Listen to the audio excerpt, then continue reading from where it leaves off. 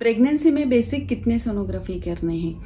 Basically पहला sonography आता है अर्ली प्रेगनेंसी में, जिसमें आपके बेबी का हार्ट बीट चेक हो जाएगा। आपको कितने वीक्स कंप्लीट हुए हैं, वो भी पता चलेगा।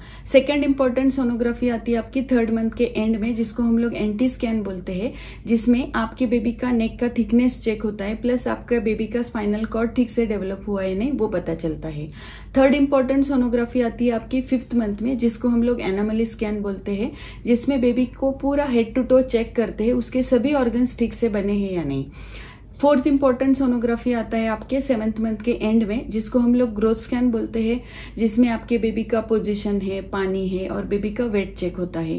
एंड लास्ट इंपॉर्टेंट सोनोग्राफी आती है आपके नाइन्थ मंथ में, अराउंड साढ़े आठ महीने के आसपास, जिसको हम लोग डॉपलर सोनोग्राफी बोलते हैं, जिसमें आपके बेबी के अम्बेलिकल कॉर्ड का, बेबी के ब्रेन का और बेबी के हार्ट का ब्लड फ्लो चेक होता है। तो प्रेगनेंसी में कुल मिला के आपको कम से कम ये पाँच सोनोग्राफी तो करने ही है।